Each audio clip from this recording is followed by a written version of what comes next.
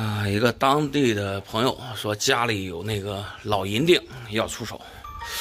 哦，你好，你好，你好，你好，这今天终于见面了啊！我来吧，我来吧。你们这儿不好找啊哎，胡同很深，嗯老老城区净是胡同，臭动不大的。哦就这个银锭，对对对对，家里传下来的。呃，这是俺爷，啊俺爷传下来了。俺爷在我们这附近啊，嗯是一个有名的大收藏家，哦就喜欢玩这些东西。老藏家，看来你说家里边不止这一个呀？啊，对对对，咱这样的银锭啊有六个，俺爷嘞，俺们几个堂兄弟啊，反正还有俺哥，总共六个兄弟啊啊，一人一个。啊，一人一个，不偏不向。那是那是，我的天哪，五十两的大银锭，嗯那你这个银锭一直在你手上放着吗？嗯，咋回事吧？我常年在外面打工，这个哦东西吧，我家里也没人，我一直给俺搁那放着嘞。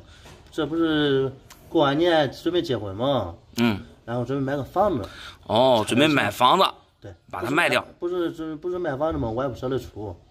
哦，这个银锭一直让你哥给你放着。对啊，我常年在外打工，家里没人。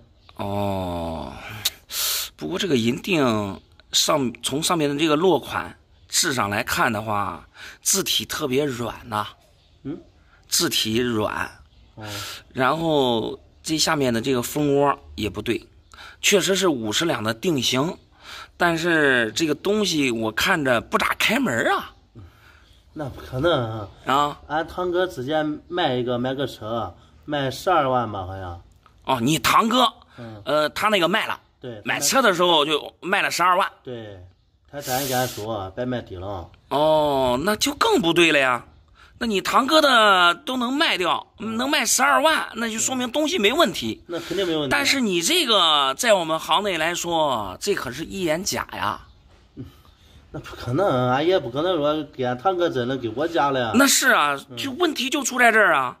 这现在看看再看看。这个重量，我觉得啊，虽然有有那么重，嗯但是不对，这东西不对。你看这上面还有这个嗯用那种搓给拉过的痕迹，这不对。呃，有没有可能？你刚才说是你哥一直给你放着，对我常年在这打工，你这样，呃，有没有可能是你哥给你调换了或者啥的调换了。啊？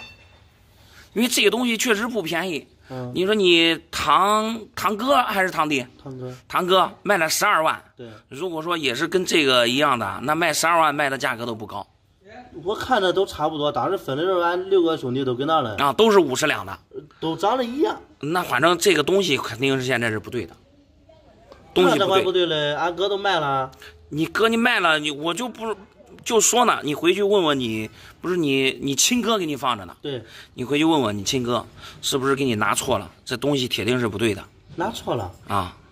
哦，你这不对确定这不对？嗯，这在我们行内，嗯，这算是一眼假的，嗯，这算是工艺品吧？现在的连银子都不是，应该从这个颜色上来看，我觉得应该是铅铅做的，外表啊应该是镀的银。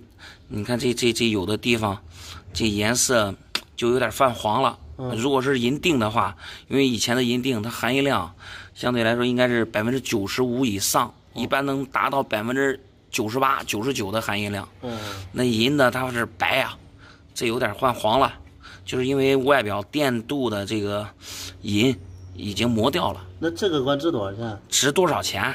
嗯那你要是真是在古玩街上买的话，这个总得花个百十块。百十块，对，十二万到百十块，那我就刚才就说了，你回去问问你哥吧。那这肯定不对。那嗯你要说百十块的东西，这不是老的，再给你说一遍，这不是老的这时间久了，我只知道俺爷传下来一个这具体长啥样，我还忘了。啊。那俺堂哥都卖百十二万，这咋管值百十万嘞？那你反正现在是有问题，你回去问问，那再问问。不中，我再去找俺哥去。他有一个他没卖了，我看跟我这一样不一样。我再叫俺几个堂哥堂弟都拿过来看看。那行，那行，那行，你问问吧。这真有可能是俺哥给我换了吗？这个现在不好说，反正有这个可能，只是。价值就这个，就就这个百十块的价哎，值。对对对对对，那不中，那不中，这这错了太多。嗯那这咋弄还是？嗯，这个我要不了，要不了啊要啥费用不用？啊！不用不用不用不用不用，叫你白跑一趟。没事儿没事儿没事儿不好意思啊，不好意思啊。没事儿没事儿。好。